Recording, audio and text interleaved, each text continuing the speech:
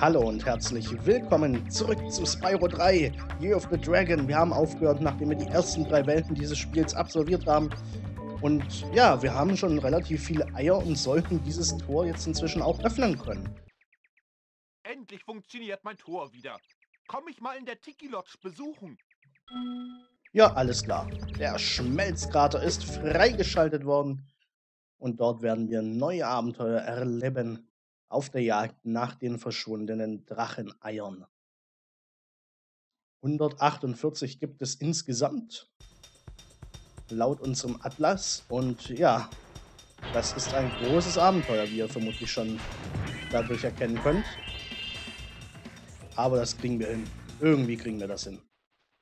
Rhinoxe treiben hier ihr Unwesen. Aber ich kann niemanden lange genug aus der Tiki Lodge herausholen, um etwas dagegen zu unternehmen. Okay. Dann müssen wir das wohl machen. Der Schmelzkrater. Leider ein Level, den wir nicht zu 100% abschließen können, da uns etwas fehlt. Au. Hörst du auf damit? Drecksack.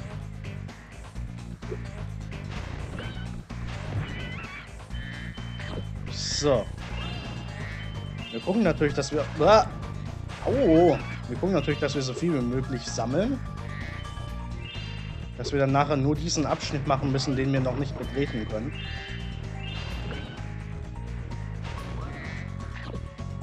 Komm mal her. So. Oh cool, danke, dass du ihn für mich getötet hast. Das ist aber sehr nett von dir. Da ist ein Ei. Das erste ist Tages. Ricky. Hallo. Und tschüss.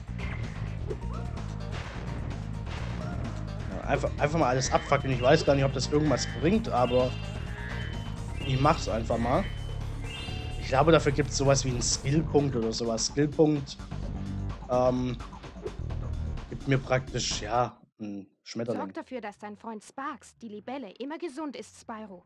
Wenn seine Gesundheitsanzeige niedrig ist, fackel ein Tier wie diese Schnecke hier ab, um einen Schmetterling freizulassen. Okay. Kennen wir ja schon, das Prinzip. Okay, ich hätte gedacht, dass der mich erwischt. Gut, dann halt nicht. Ah, du lässt mich bitte in Ruhe. So. Darf man hier aufräumen? Erzählst du mir auch irgendwas? Nö. Gut. Und da hinten hat man schon wieder gesehen, Geldsack ist auch mal wieder da. Yay. Das freut uns aber. Diese blöden Peitschenfritzen da, das gibt's ja nicht.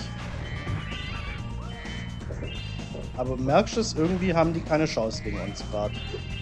Was natürlich gut ist. Okay, wieder zurück. Hier ist übrigens schon der Ende des Levels. Äh, das Ende des Levels, ich weiß es nicht. Und da ist der Bereich, den wir noch nicht betreten können, leider. Da wir diesen Kompagnon noch nicht gerettet haben. Hinweis, Wachtmeister Bird befindet sich zurzeit auf einer wichtigen Mission in das Innere eines Käfigs. Dumm gelaufen. Die Zauberin. Toll. Die Musik hört auch mittendrin auf. Ja, aber das lag daran, weil die Musik immer stoppt, wenn wir vor so einem schwarzen Strudel sind. Deswegen, ja, nicht wundern. So. Okay, wir haben noch zwei Missionen. Einmal zu Geldsack und einmal noch den Schlüssel abgeben. Hier, nimm dieses Ei. Die haben sie gestern Abend in der Tiki Lodge verteilt. Okay. Curly. Atschu. Man hat es vielleicht ein bisschen gehört. Sweet. Okay, Rocky geht jetzt auch durch das Tor wieder zurück, nachdem er gerade eben erst durchgekommen ist, um hier Hallo zu sagen. Okay. Gut, hier sind wir wieder am Anfang. Wir können hier den Schlüssel abgeben. Das kennen wir ja schon aus Spyro 1. Das gab es im zweiten Teil tatsächlich nicht. Hier gibt es wieder. So. Und dann hoch zu unserem gierigen Sack.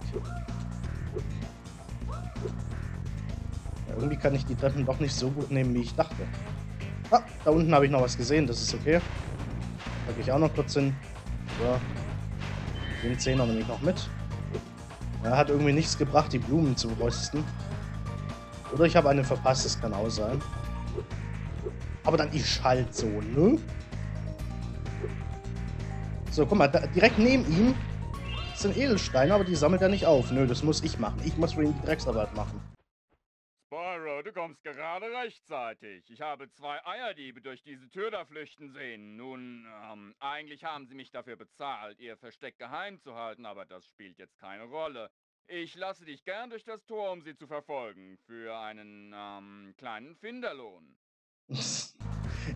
Kleiner Finderlohn, ja? Also, ey, der Typ. Danke, Spyro, und viel Glück beim Fangen dieser garstigen Eierdiebe. Anstatt dass er vielleicht mal ein weiches Herz hat, nö, er macht sogar Profit daraus, dass sie. Na, ich sag dazu nichts. Sonst rege ich mich nur unnötig auf. So, hi. Bist du der Drache, der nach den Eiern sucht? Mhm. Ich habe nämlich einen verdächtig aussehenden Typen mit einem Ei dort drüben gesehen. Und warum, hey, warum, warum halten die Leute die nicht auf, ja? Wenn sie doch wissen, dass das... Ja, egal. Ja, halt die Backen. Ich komme gleich zu dir und dann gibt's einen aufs Maul. Tschüss. Guck, jetzt hat er Angst bekommen. Die haben Angst. Sollten sie auch haben. Okay. So. Könnerpunkt. Yay, Skillpunkt. Weil wir das können. Ja, keine Ahnung. Ich verstehe das ganze Prinzip nicht. Also es gibt keine Ahnung, wie viele Könnerpunkte in diesem Spiel für besondere Sachen, wie zum Beispiel, dass ich da diesen geheimen blauen Schmetterling gefunden habe. Und als Belohnung bekomme ich eben einen blauen Schmetterling. Und Speedrunner sind sogar darauf aus, dass die 100% des Spiels auch diese Skill Points beinhalten. Also ich sag's ganz ehrlich, ich habe die Dinger nur ab und zu mal gefunden und ab und zu mitgenommen. Ich mache mir da nicht wirklich viel draus. Wenn ich welche finde, nehme ich sie gerne mit. Wenn nicht, dann ist halt so. Keine Ahnung, das ist genauso wie zum Beispiel, wo waren das? Wo haben wir das gemacht? Irgendwo haben wir alles abgefackelt. Ich glaube, alle Kakteen oder so in Spyro 2. Und dann haben ja dafür auch was bekommen. So ist es ungefähr hier auch.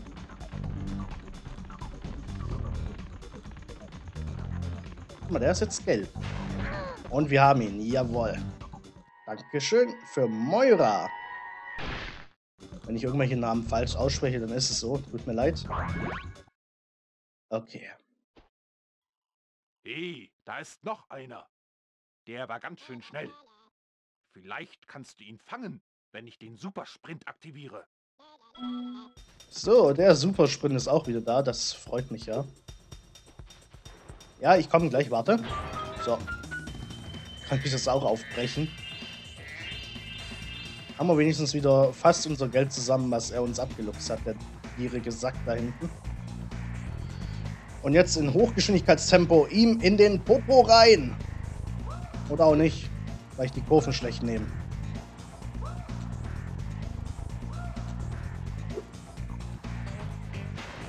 Jawohl, dann fangen wir dann halt ab. Dafür kriegen wir Kermit.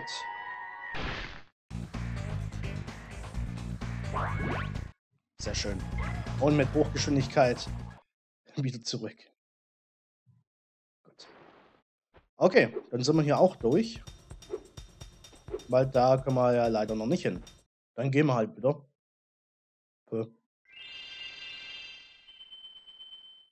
Okay, 1091, das kann sich sehen lassen. Sind wir wieder zurück in Bad Sonnenaufgang, das ist die Oberwelt. Den Namen habe ich noch gar nicht gesagt. Gut, den Level haben wir auch geschafft. Jetzt gibt es hier auch noch dieses Tor und da hinten, ich glaube, unsere Eier müssten ausreichen, um da oben das Tor zu... Ja, das Tor ist offen. Pilzrennbahn, es gibt wieder Rennen. Und diesmal sind sie sogar noch größer gemacht worden. Es gibt insgesamt zwei Eier. Glaube ja. Weiß es nicht mehr. Na guck mal, Sparks redet mit uns.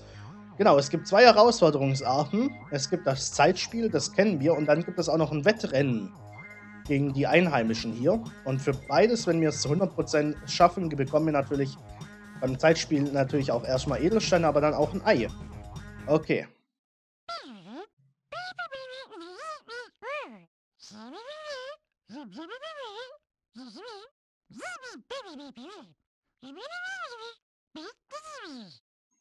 Okay, also Ringe, Löwenzahnblumen, Spinnen und dann die Schmetterlinge. Danke für den Tipp. Finde ich cool, dass Sparks auch mal mit uns redet. Diesmal kriegen wir Edelstein und keine Zeit. Die Zeit ist, ja, fix. Die können wir nicht erweitern. Also Edelsteine können wir, glaube ich, alle sofort bekommen. Also auch wenn wir nicht beim ersten Durchlauf alles bekommen, bekommen wir sämtliche Edelsteine. Aber wir bekommen halt das Ei nicht. Und das geht es mir natürlich auch. So, die Spinnies. Was ich ein bisschen schade finde, ist, dass jede Rennbahn denselben Soundtrack hat, aber ich mag den Soundtrack dafür. War ja bei den 202-Welten war es ja so, dass jeder Ring war es ja da, einen eigenen Soundtrack hatte. Hier hat alle, jede Rennstrecke dasselbe. Aber dafür ist er gar nicht so schlecht. Na? Okay. Drei Stück noch. Zwei noch. Und das war's. Alle Edelsteine. Und ein Ei ist uns auch sicher. Sehr schön. Haben wir hier ein bisschen aufgeräumt. Und wir haben eine neue Bestzeit, weil es keine andere auf der Memory Card gibt. Hm. Tja, so ist es halt.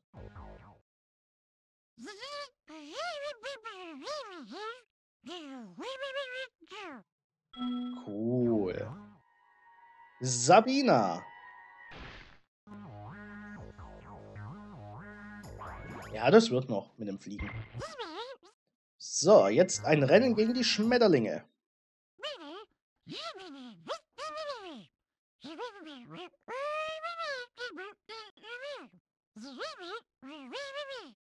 Okay, wir müssen der Reihe nach durch alle grünen Kontrollringe.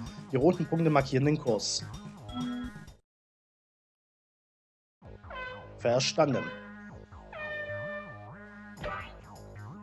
Und es gibt drei Runden. Und dann gibt es hier noch Sterne. Der blaue macht uns schneller.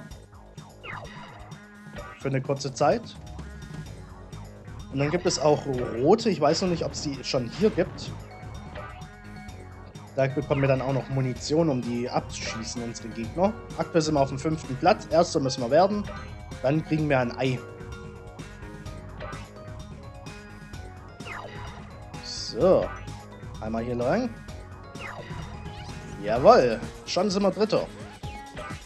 Das macht irgendwie Spaß. Auch wenn es gegen Ende des Spiels wirklich herausfordernd wird, da den ersten Platz zu behalten. Aber irgendwie macht es trotzdem Spaß. Ist mal was Neues. Genauso wie diese versteckten Ring heraus, äh, Kugel-Herausforderungen in 2.2. Die gibt es jetzt dafür nicht mehr, dafür gibt es hier ein schönes Wettrennen. Das finde ich auch nicht schlecht. Und wenn man mir überlegt, man bekommt hier einfach mal schon zwei Eier.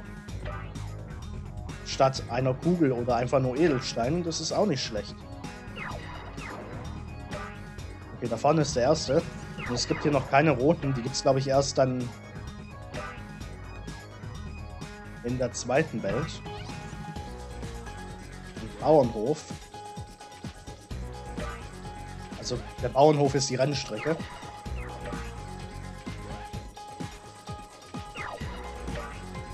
So, jetzt komm mal her. Ich fackel dich ab. Ich weiß nicht, ob das wirklich was bringt, aber egal.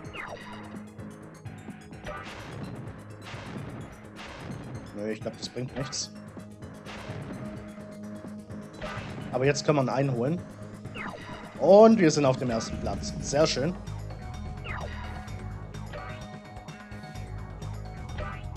Und da ist das Ziel. Juhu! Gewonnen! Wo ist mein Preis?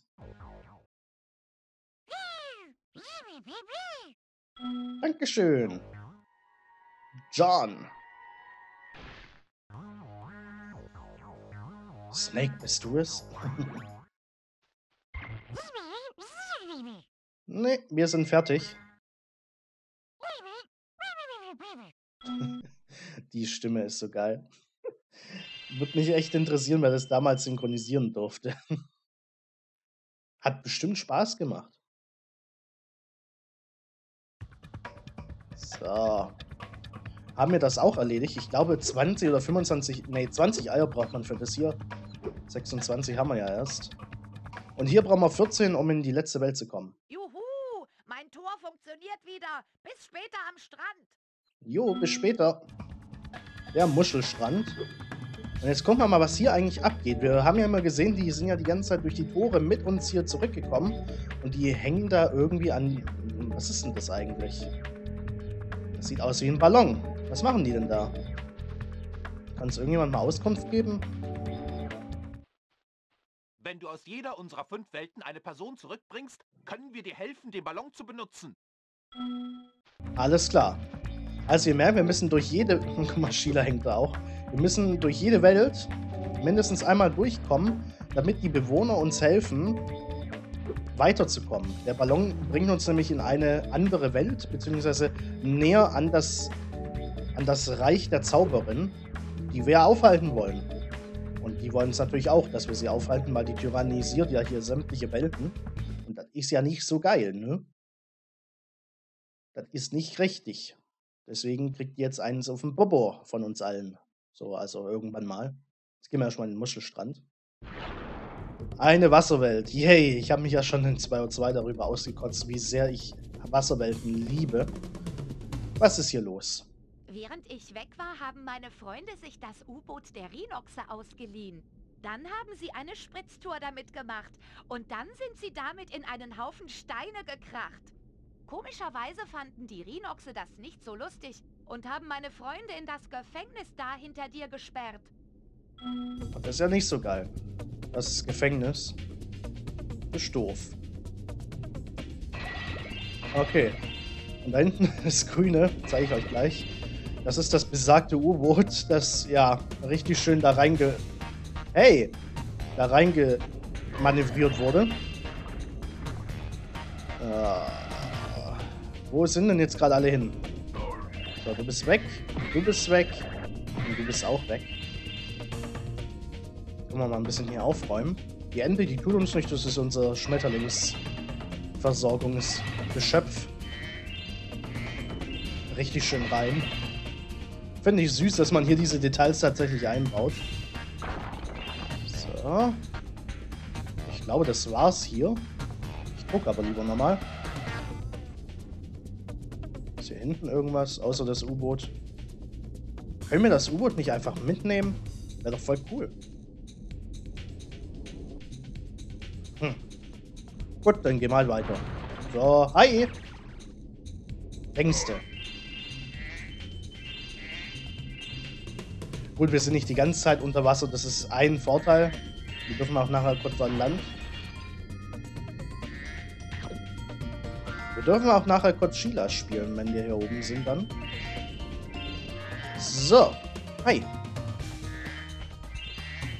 Es ist so eine Halb-Halb-Welt, deswegen ist es ganz okay. Wenn du eine kurze Zusammenfassung über deinen Fortschritt in einer Welt haben willst, kannst du die Select-Taste drücken. Damit öffnest du den Atlas auf der Seite der Welt, in der du dich befindest. Das ist ein guter Tipp. Dankeschön. Ähm. Okay. Ah. Daher kommt das also. Ich dachte schon, es haben Muscheln auf einmal Füße. Das ist ja ganz seltsam. Okay. Zeig mal, was du kannst.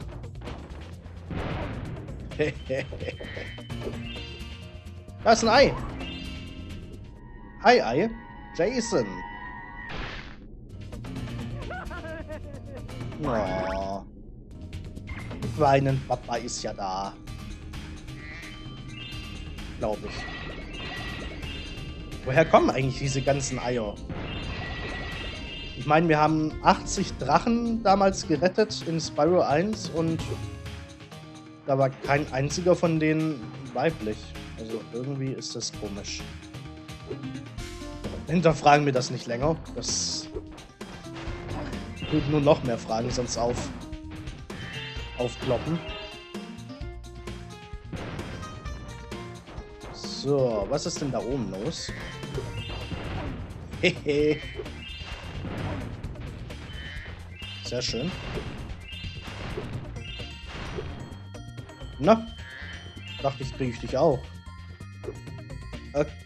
Okay, das war's hier, ne? Ja, ich glaube, wir sind hier fertig. Machen wir es halt so. Du läufst. Und du auch. Ah, solche Schweinebacken. Glaubt's ja nicht. Und wie war sie noch? Ich dachte, ich werde wieder voll getextet. So. Du auch? Nö. Okay. Lass mich mit deiner hässlichen Schaufel in Ruhe. So, ich gehe jetzt weg von euch. Ihr könnt mich mal. Tschüss. Durch Schweben kommst du nach dem Gleiten weiter. Drück einfach die Dreiecktaste am Ende deines Gleitflugs. Okay, das wussten wir ja schon. Aber danke für die kleine Auffrischung. Da unten ist noch ein Edelstein, nicht vergessen. So. Und da wartet Sheila auf uns. Oh, ich, ich, mag diese Aufgabe nicht so wirklich, aber haben wir sie wenigstens schon hinter uns. Also, gehen wir da mal rein. Was dürfen wir denn hier Schönes machen? Oh, hi, Spyro. Einige meiner Seehundfreunde versuchen, eine Rhinox-Festung zu zerstören. Ich will auch hin und mithelfen. Ich liebe den Duft angesenkter Rhinoxe am Morgen. Alles klar. Das ist ein bisschen... Ja, ich sag dazu mal nichts. Das ist leicht verstörend. Okay. Zack. Warte mal, da oben ist was. Was habe ich gesehen? Ein Ei! Sieh mal einer an. Jared hat sich hier oben versteckt. Cool. Aber fies versteckt. Den sieht man zwischen diesen kleinen Texturveränderungen kaum hier, den Aufgang. Ich wusste nur, dass hier irgendwo irgendwas versteckt ist. Höhlentechnisch. Was willst du denn von mir? Geh doch einfach. So, da sind unsere Seehundfreunde mit TNT. Da ist diese Festung. Hi, Sheila. Die Rhinoxe haben auf unserem Strand eine Festung gebaut. Die werden wir zu Kleinholz machen. Du musst nur die Ecktürme für uns übernehmen. Wir zünden jetzt die Bombe. Sorg dafür, dass du alle Ecktürme mit einem Kopfstoß zerstörst, bevor die Lunte zu Ende ist, okay? Okay, also wir müssen hier alles kaputt machen. Bevor die Zeit abläuft. Klingt einfacher, als es ist.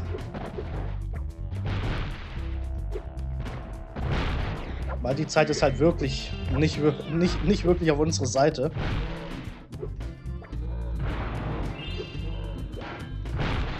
Jawohl. Aber wir machen das gerade ganz gut.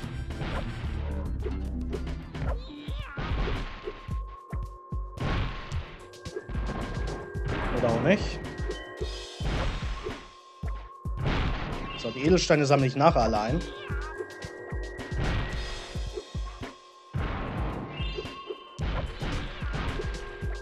Es wird knapp.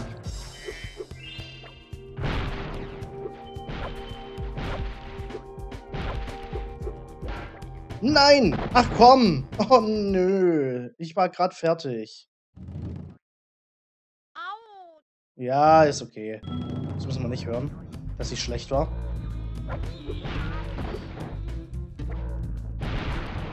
Ach, guck mal, so geht das also schneller. Das muss ich mir merken.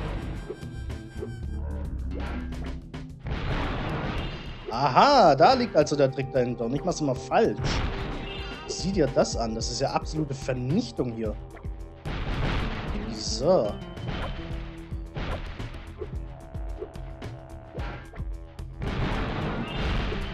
Alter, was geht hier ab?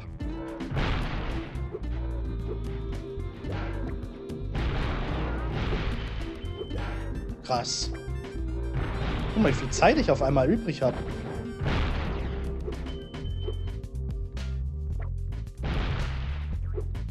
So, jetzt haben wir es geschafft. Und tschüss. Yeah. Sesam, öffne dich.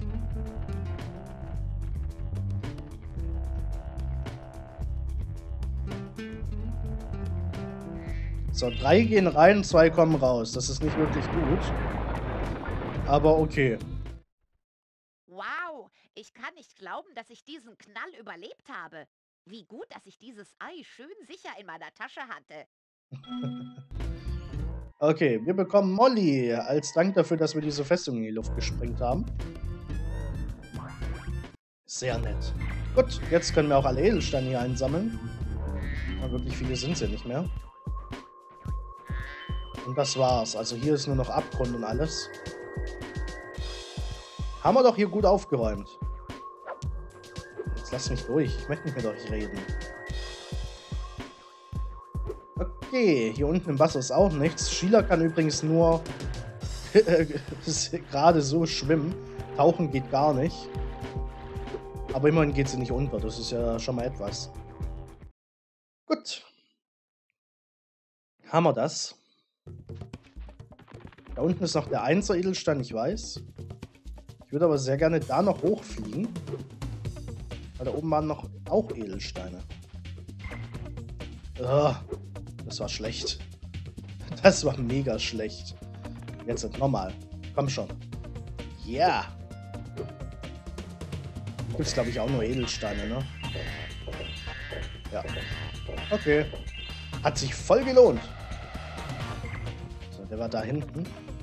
Ganz hinten im Eck liegt doch der kleine Fratz. Oh, hi. Und tschüss. Mal, du kriegst nicht mal ein Fass von mir ab. Du wirst einfach nur abgefackelt. Bist du mir nicht wert.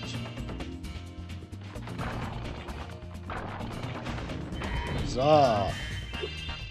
Und wieder nach unten. Dann mal ein bisschen rum. Äh, komm, gucken, was geht hier ab.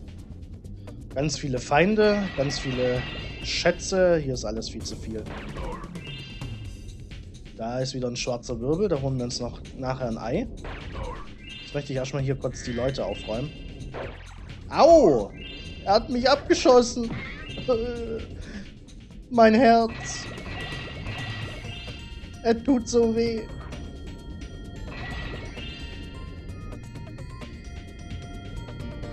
Okay. Da unten war auf jeden Fall noch... Da, guck mal, der Kraken. So. Das habe ich gerade eben noch gesehen, aber das war's hier unten, oder? Gut, dass Edelsteine nach unten gehen und nicht, und nicht leichter sind. Und nicht leichter sind. Nicht, dass sie jetzt durch die ganze Levelkarte schweben. Das wäre ein bisschen blöd. Was haben wir denn hier Schönes? Ähm, ach, ja, ja, ja. Wir dürfen jetzt gleich Boot fahren. Das ist cool. Vor allem den Ort kann man echt sehr schnell übersehen, weil man halt, ja, das nicht gewohnt ist, dass man da oben raus kann. Pluto der Rhinox hat uns zu einer Seeschlacht herausgefordert. Unser Schnellboot gegen sein nukleares Hai-U-Boot. Wenn wir gewinnen, bekommen wir das Drachenei, das er bewacht. Wenn wir verlieren, müssen wir einen Monat Küchendienst machen. Oh, sowas aber auch. Vor allem unser Schnellboot gegen sein nukleares Hai-U-Boot. Was sagst du dazu? Willst du gegen Pluto antreten? Ich muss gegen Pluto an. Achso, Pluto, jetzt, danke. Okay, viel Glück. Aber denk daran, dich vom scharfen Ende fernzuhalten. Okay. Drücke die X-Taste, um zu beschleunigen. Drücke die Kreistaste, um eine Rakete abzuschießen. Sammle Kisten, um mehr Raketen zu bekommen. Okay.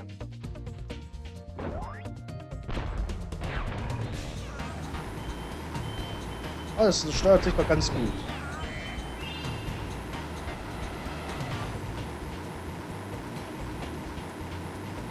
Also mit X gebe ich Gas, ich kann aber auch einfach nach oben drücken.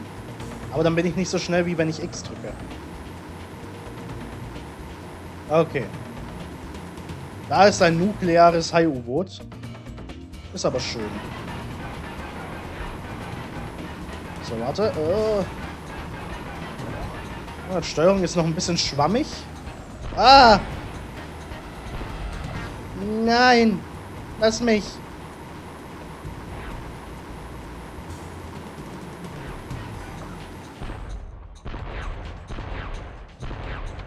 Mist.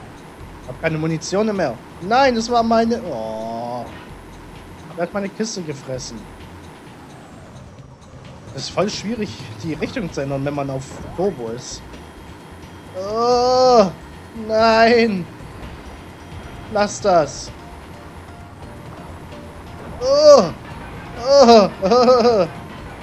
Hörst du auf? Verschwinde! Toll.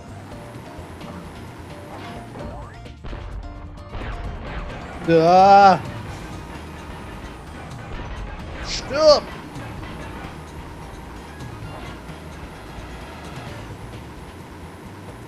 Oh nein! Oh nein! Aua! Aua! Mein armer Po!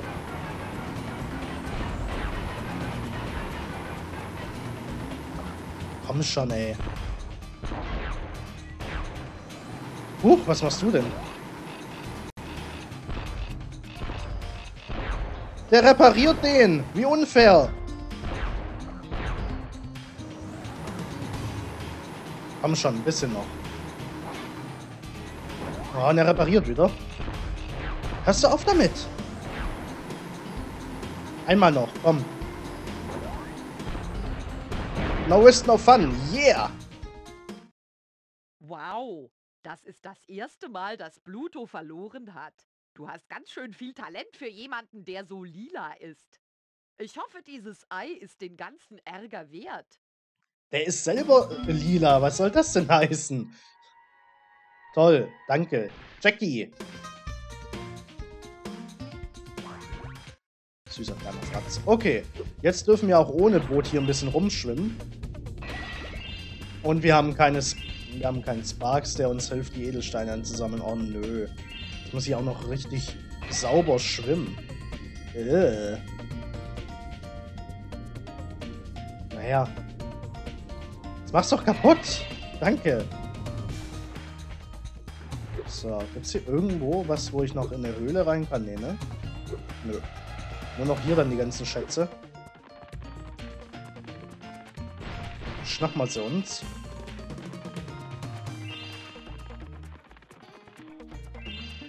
Ah, das ging ab, ne? Also, das hat mega Spaß gemacht. Solche Aufgaben mag ich. Aber unfair, dass der einfach sein Zeug da repariert. Dann wäre er nämlich viel schneller fertig gewesen. So, jetzt haben wir alles hier. Huch. Geh nochmal hoch. Danke. Und dann können wir auch wieder nach unten gehen. Der eine schwarze Stuhl, den betreten wir jetzt. Den anderen da unter Wasser. Der ist ja, ja, der ist ein bisschen anders. 30 Eier schon, krass.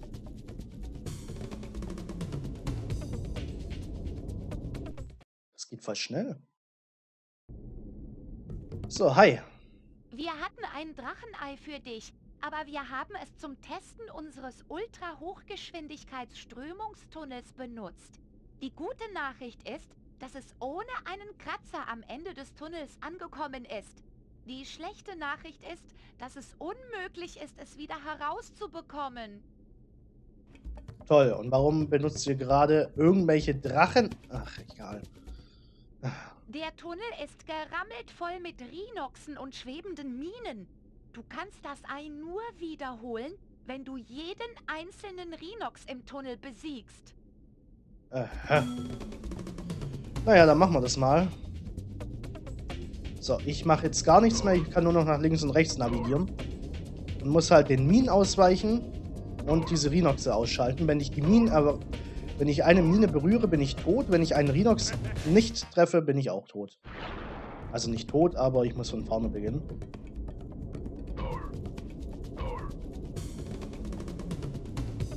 Und das ist teilweise gar nicht so einfach. Ja, ja, lach mich halt aus, du Sack. Immerhin verliere ich kein Leben. Das wäre sonst mega doof. Diese Art von Herausforderung gibt es noch einmal, glaube ich. In der vierten Welt. Äh, da ist das Ei. Ja, wir haben's. Dieses Ei hat erstaunlich gute Strömungseigenschaften. Von jetzt an werden alle unsere U-Boote eiförmig sein. Na dann, immerhin haben sie was gelernt. Duke. Alter Halunke, wie geht's dir? Gesundheit. Gut, tschüss. Das ist mein Ei. Das gebe ich euch nicht wieder. Glaub's ja nicht. Okay, dann haben wir hier eigentlich alles. Sag mal, hörst du auf? Mein Plan hat funktioniert. Dieser dumme Tintenfisch hat die Gefängnisschlüssel fallen lassen, als er mich geschüttelt hat. Jetzt kann ich meine Freunde befreien. Cool. Freiheit für die Seehunde. Oh, das wollte ich dir noch sagen. Einer der Rhinoxe hatte dieses Ei in seiner Brotdose. Was? Alter. Der arme Dizzy. Der wäre fast gefressen worden. Alle Eier und jetzt müsst... Ah, achso, ich habe ja keine Libelle. Ah. Ich muss alles selber einsammeln hier. Mann, oh. Wo ist Bug, wenn man den braucht? Ja, alle Edelsteine. Das heißt, wir haben den Muschelstrand komplettiert. Juhu. So, dann wieder nach Hause. Nach Bad Sonnenaufgang.